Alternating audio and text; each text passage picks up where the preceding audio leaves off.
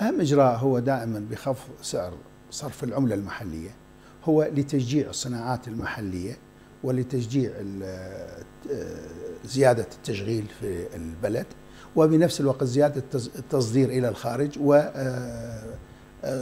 التصدير يؤدي إلى مجيء العملة الأجنبية إلى الداخل. فالأساس هو عبارة عن زيادة الصادرات ومجيء عملة إلى الداخل وتكوين الناتج المحلي وإنتاج سلع بديلة في في الداخل.